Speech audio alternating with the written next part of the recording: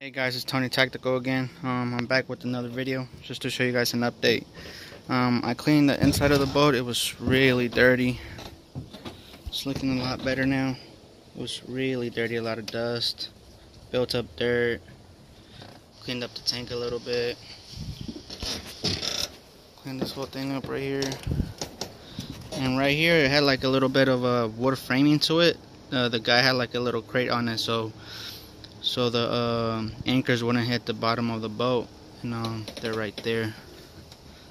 I'll probably reuse them to make like a battery uh, barrier so you know keep the battery in place. It's looking a lot better now. So now what I'm gonna do I'm gonna remove all the hardware from here like uh, that little seat base the pole holder rod holders take out the fish finders, the fire extinguisher, all the electronics, take them off. That uh, seat back there, and then um, another fishing pole holder.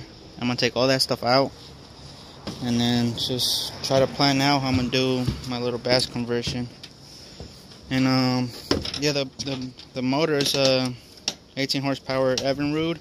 I found out I think it's like a 1968, and it still runs uh, right off the bat.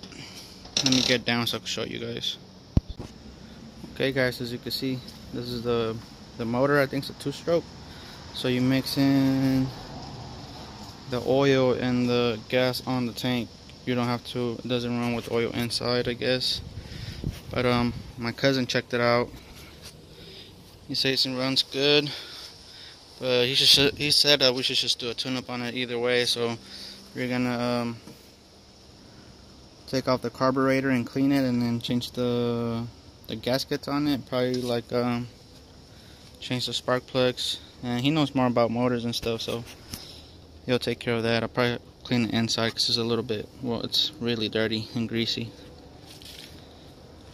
I'll just probably clean everything up make it look nice. Probably paint the box. Don't really like the color on it Somebody tried to paint it, but yeah, I'm gonna repaint it. Probably a different color. And yeah, so another look. So gotta take that seat off, bring all that stuff down, that stuff down. I already took all this stuff out the boat. It's looking better now. And this is all that dirt and trash that was in there.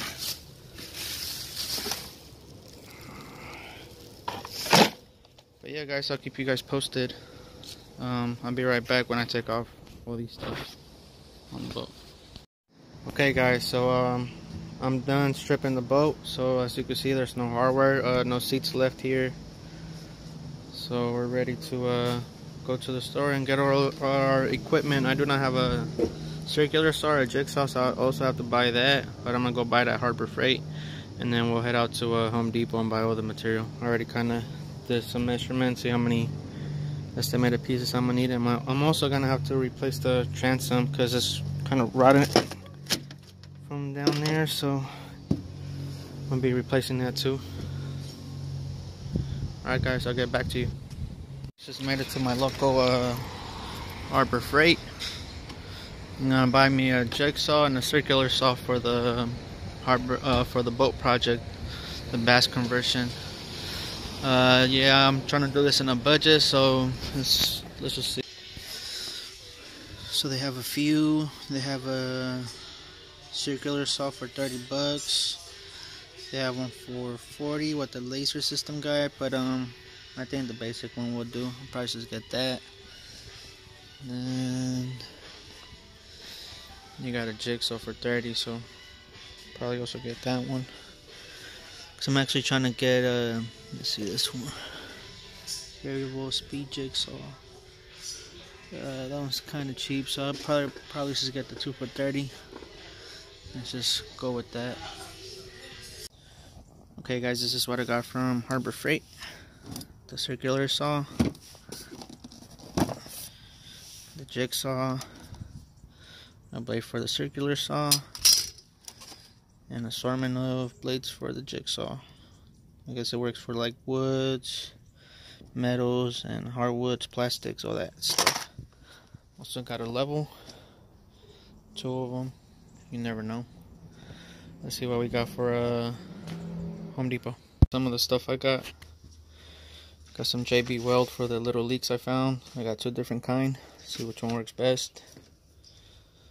Little red uh, primer, you know, just to put on the bolts and stuff like that. Deck screws. The adhesive for the carpet. Some silicone for the. I think I'm gonna put this on the transom. There's a carpet. And then I bought I think six two by fours redwood, eight feet for the framing. I haven't got the plywood yet, but after I finish with the framing, I'll be getting the plywood. So yeah, just stay tuned. This is the first part of the video. Next, the next series is gonna be me doing the framing and probably do, me doing the framing on the the second part is going to be me doing the framing on the front right here and then um, I'll do the framing probably do the decking and then the carpeting for the front and that'll be the second part to this video.